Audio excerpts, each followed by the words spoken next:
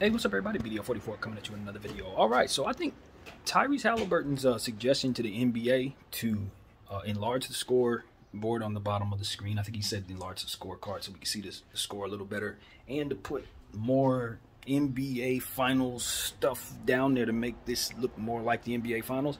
I think that's a big deal, man. Uh, you know, back in the day when watching the Lakers, when we would win championships with Shaq and Kobe, they had a whole plastered uh, trophy underneath our logo. Like that was awesome, man. We like that type of thing, or at least seeing a little more um, NBA Finals like uh, presentation. I guess when I look at the Nuggets game yesterday, and I did watch a good portion of it and enjoyed it. It was actually a very good game uh, against the Heat. Heat won the game uh, by two, I think it was.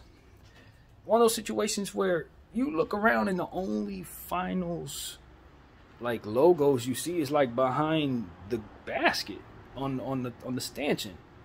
And maybe like a little flashing of the NBA finals on like a corner. Maybe it might say finals over on the left side of the of the floor but it's like yo whatever happened to making this feel like an NBA finals? Whatever happened to the presentation of it feeling like yo this is not a regular season game. You need to understand this for all the marbles. And most importantly it gives a place like Denver who never gets an opportunity to be in the finals that real finals vibe and experience. Um, because bad enough, the the matchups aren't necessarily exciting, but also the presentation feels like a regular season game.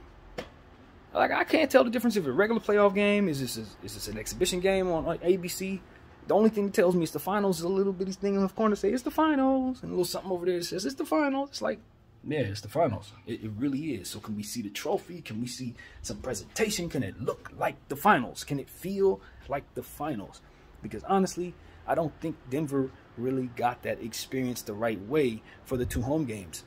Um, and who knows how, how things go, whether they'll be back here anytime soon. So it's like they should have the trophy plastered underneath their floor. They should see all the bells and whistles. It should look like a finals again. And so that's what I want to say, man. I want all of those guys to just, you know, get back to making the finals feel like a an event as it pertains to just the presentation.